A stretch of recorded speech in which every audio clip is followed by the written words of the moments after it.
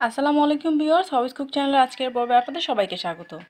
আজকে আমি মাত্র পাঁচ মিনিটে খুবই মজাদার ক্রিমি পাস্তা তৈরি করে দেখাবো। হাতের কাছে থাকা অল্প কিছু উপকরণ তৈরি করতে পারবেন। ছোট, বড় সবাই খেতে আলহামদুলিল্লাহ অনেক পছন্দ করবে। আশা করছি রেসিপিটা ভালো লাগবে। ভালো লাগে চ্যানেলটা সাবস্ক্রাইব করে দিবেন। তো চলুন কথা না বাড়িয়ে সরাসরি রেসিপিটা দেখে নিই।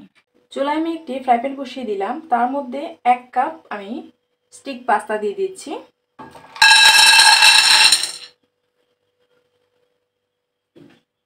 মানে স্ট্র পাস্তা যেটা, তার মধ্যে দেড় কাপ পরিমাণ লিকুইড দুধ দিয়ে দিব।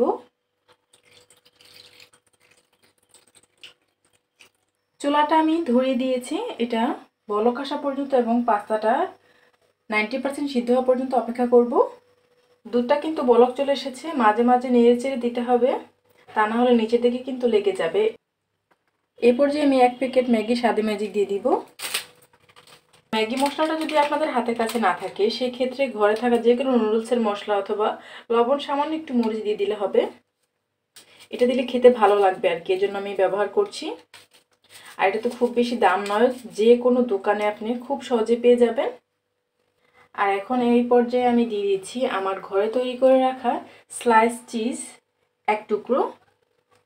এটা অপশনাল পুরোপুরি। এটা দিলে স্বাদটা একটু বেড়ে যাবে আর কি। যদি আপনাদের হাতের কাছে থাকে, সেক্ষেত্রে দিয়ে দিবেন আর না থাকলে কোনো সমস্যা নেই, না দিলেও হবে। চিজটা কিন্তু গোলে মেল্ট হয়ে যাবে আর পাস্তাটা সিদ্ধ হয়ে আসা পর্যন্ত অপেক্ষা করছি। লবণের পরিমাণটা যার যার টেস্ট অনুযায়ী বাড়িয়ে কমিয়ে দিয়ে দিবেন।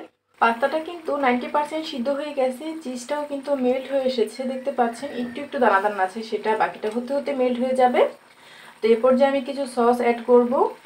এই সসগুলো আপনাদের হাতের কাছে থাকলে দিয়ে দিবেন, আর না থাকলে কোনো সমস্যা নেই। টমেটো সসটা তো সবার হাতের কাছে অবশ্যই থাকে। ওটা দিয়ে দিতে পারেন।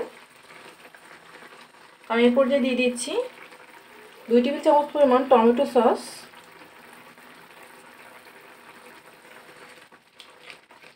যেহেতু সস ব্যবহার করতেছি সেই ক্ষেত্রে লবণের পরিমাণটা অবশ্যই বুঝে শুনে দিতে হবে।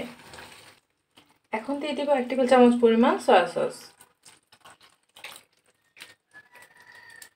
এখন দিয়ে দিচ্ছি আমি হাফ চা চামচ পরিমাণ গোলমরিচের গুঁড়া। আমি কালাটা ব্যবহার করছি, আপনারা চাইলে সাদাটা ব্যবহার করতে পারেন।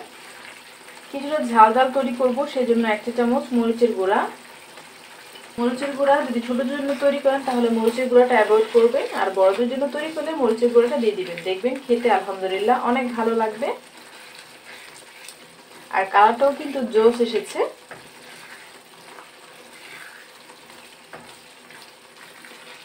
আমি আরও এক মিনিটের মতো রান্না করছি। আপনাদের হাতের কাছে যদি মিক্স হার্ট থাকে বা অরিগানো থাকে, সেক্ষেত্রে ওয়ান ফোর চামচ পরিমাণ হাতের মধ্যে নিয়ে একটু ক্রাশ করে দিয়ে দিতে পারেন। এই তো আমার ঝটপট পাঁচ মিনিটে তৈরি করা ক্রিমি পাস্তা রেডি আমি চুলাটা এখন বন্ধ করে দিয়ে আপনাদেরকে সার্ভ করে দেখাই। আমি একটি প্লেটের মধ্যে এটাকে সার্ভ করে নিব। উপরের দিকটায় কিছুটা আমি অরিগেনো দিয়ে দিচ্ছি। খেতে আলহামদুলিল্লাহ এতটা টেস্টি হয়েছে যেটা আমি আপনাদেরকে বলে বোঝাতে পারব না। বাসায় তৈরি করে কেমন হয়েছে আমাকে জানাবেন। তো আমার রেসিপিটা ভালো লাগলে চ্যানেলটা সাবস্ক্রাইব করে দেবেন। আজকের মতো এখানে বিদায় নিচ্ছি। সবাই ভালো থাকবেন, সুস্থ থাকবেন। আল্লাহ হাফিজ। আমি আর লোভ সামলাতে পারছি না। তাড়াতাড়ি খেয়ে নিব।